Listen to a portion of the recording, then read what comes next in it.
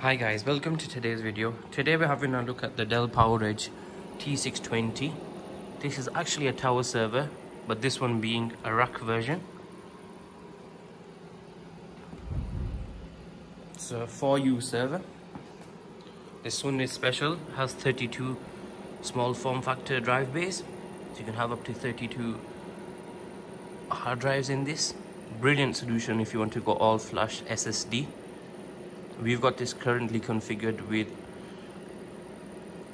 with uh, 8 900 GB hard drives and with two 10 core CPUs 224 GB DDR3 memory. It's a fantastic solution.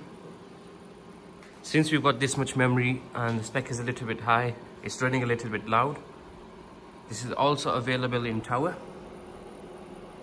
It's a very nice looking machine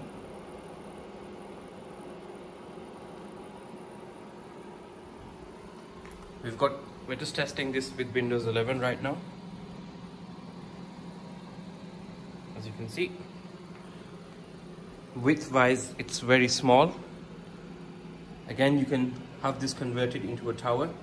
They originally come in the tower and we can convert them into racks.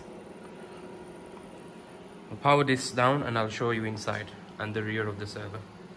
So guys we've got the T620 powered off we'll have a look inside.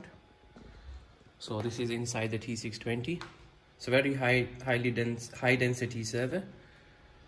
It's very ex expandability on this is very good as well. As you can see there are many PCI slots. There's four PCI 16 slots so capable of having four GPUs this is the backplane a very special backplane So you might be wondering where the fans are. The fans are integrated into this baffle. They're used as exhaust fans. It's a very nice server.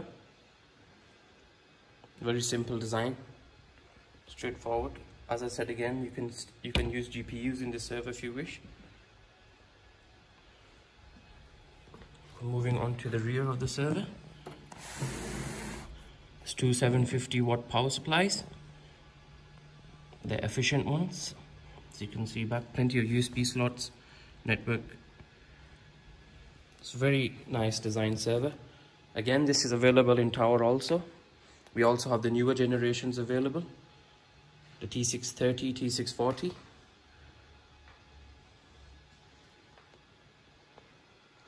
that's all for today guys.